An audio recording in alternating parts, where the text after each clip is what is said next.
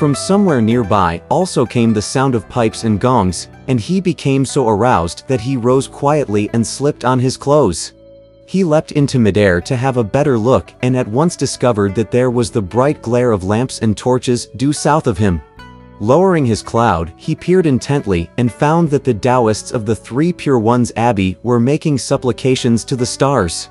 He saw the spiritual realm of a tall chamber, the blessed place of a magic hall, the spiritual realm of a tall chamber, august like the features of Mount Penglai, the blessed place of a magic hall, immaculate like the palace of transformed joy. Taoists on both sides played their strings and pipes. Masters at the center held up their tablets of jade. They expounded the woe-dispelling litany. They lectured on the classic of the way and virtue. To raise dust a few times they wrote out their charms. To make the supplication they prostrated themselves. With spell and water they sent a dispatch. As flames of torches shot up to the region above. They sought and questioned the stars. As fragrant incense rose through the azure sky. Before the stands were fresh offerings. On top of tables were victuals sumptuous. On both sides of the hall's entrance was hung a pair of yellow silk scrolls on which the following parallel couplet in large characters was embroidered. For wind and rain in due season. We invoke the celestial worthy's boundless power as the empires peaceful and prosperous. May our Lord's reign exceed 10,000 years. There were three old Taoists resplendent in their ritual robes, and Pilgrim thought they had to be the tiger strength, deer strength, and goat strength immortals. Below them there was a motley crew of some seven or eight hundred Taoists. Lined up on opposite sides, they were beating drums and gongs, offering incense, and saying prayers. Secretly pleased, Pilgrim said to himself, I would like to go down there and fool with them a bit, but as the proverb says, a silk fiber is no thread. A single hand cannot clap. Let me go back and alert eight rules and Sha Monk. Then we can return and have some fun. Putting his auspicious cloud on a descending path, he headed straight back to the abbot's hall, where he found eight rules and Sha Monk asleep head to foot in one bed. Pilgrim tried to wake Wu Jing first, and as he stirred, Sha Monk said, Elder brother, you aren't asleep yet. Get up now. Said Pilgrim. For you and I are going to enjoy ourselves. In the dead of night. Said Sha Monk. How could we enjoy ourselves when our mouths are dried and our eyes won't stay open? Pilgrim said. There is indeed in this city an abbey of the three pure ones. Right now the Taoists in the abbey are conducting a mass, and their main hall is filled with all kinds of offerings. The buns are big as barrels, and their cakes must weigh 50 or 60 pounds each. There are also countless rice condiments and fresh fruits. Come with me and we'll go enjoy ourselves. When Zhu Eight Rules heard in his sleep that there were nice edibles, he immediately woke up, saying, Elder brother, aren't you going to take care of me, too? Brother, said Pilgrim, if you want to eat, don't make all these noises and wake up master. Just follow me. The two of them slipped on their clothes and walked quietly out the door. They trod on the cloud with Pilgrim and rose into the air. When Idiot saw the flare of lights, he wanted immediately to go down there had not Pilgrim pulled him back.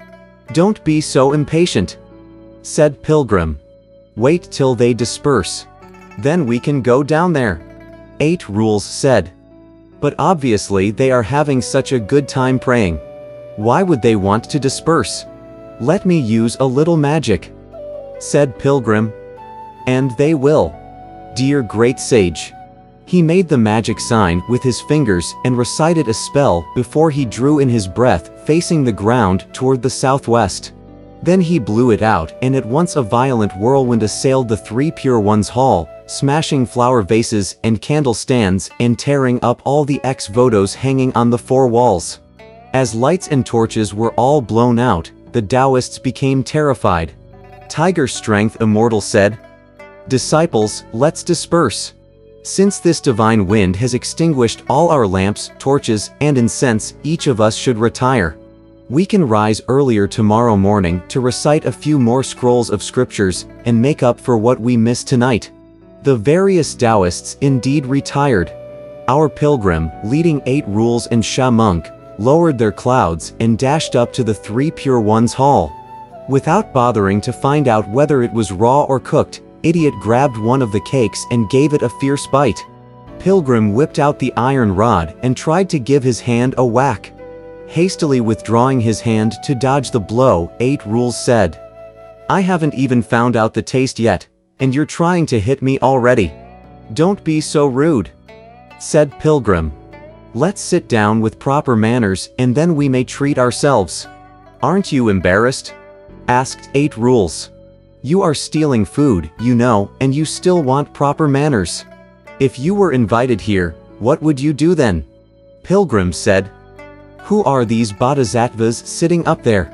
What do you mean by who are these bodhisattvas? Chuckled Eight Rules. Can't you recognize the three pure ones? Which three pure ones? Asked Pilgrim. The one in the middle. Said Eight Rules. Is the celestial worthy of commencement? The one on the left is the Taoist lord of numinous treasures. And the one on the right is the most high-aged lord, Laozi. Pilgrim said. We have to take on their appearances. Only then can we eat safely and comfortably. When he caught hold of the delicious fragrance coming from the offerings, Idiot could wait no longer. Climbing up onto the tall platform, he gave the figure of Lao Tzu a shove with his snout and pushed it to the floor, saying, Old fellow, you have sat here long enough. Now let old hog take your place for a while. So Eight Rules changed himself into Lao Tzu, while Pilgrim took on the appearance of the celestial worthy of commencement and Sha Monk became the Taoist lord of numinous treasures. All the original images were pushed down to the floor.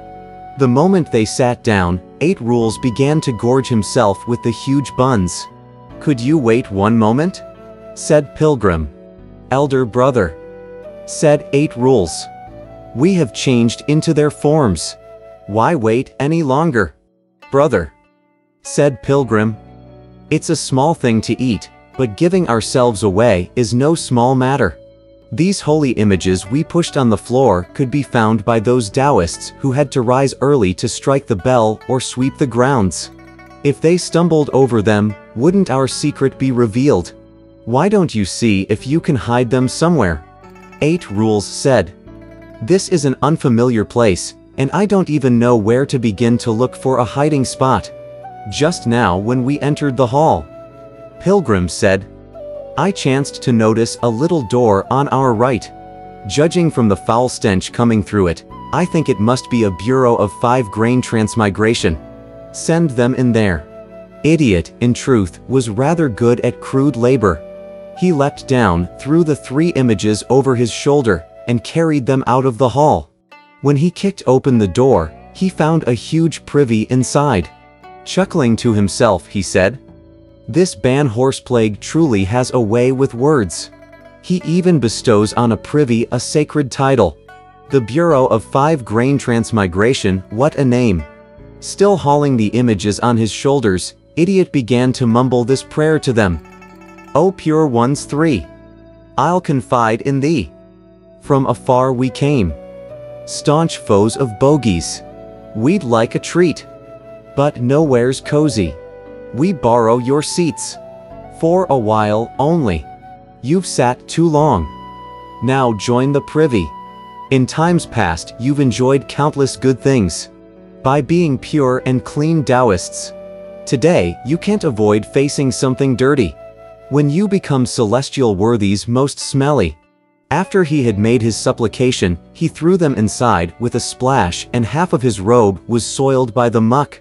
As he walked back into the hall, Pilgrim said, Did you hide them well? Well enough. Said Eight Rules. But some of the filth stained my robe.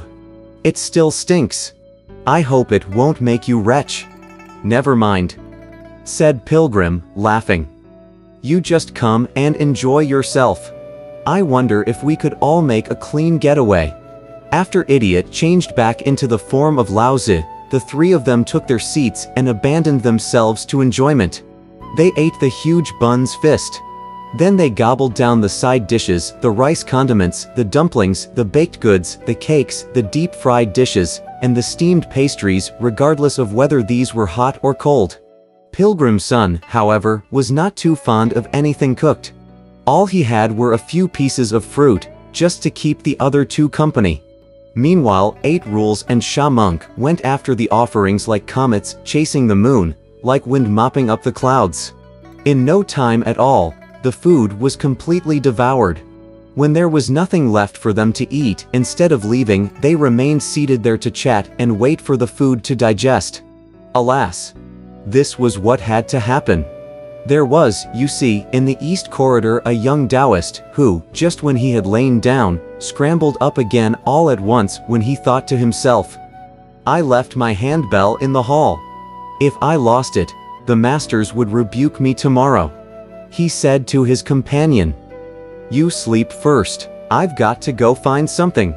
Without even putting on his undergarments, he threw a shirt on himself and went to the main hall to search for his bell. Groping this way and that in the darkness, he finally found it. As he was turning to leave, he suddenly heard sounds of breathing.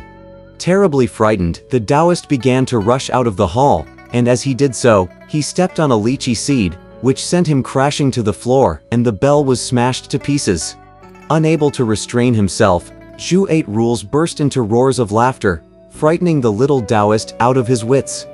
He scrambled up only to fall down once more. Stumbling all over, he managed to reach the master residence.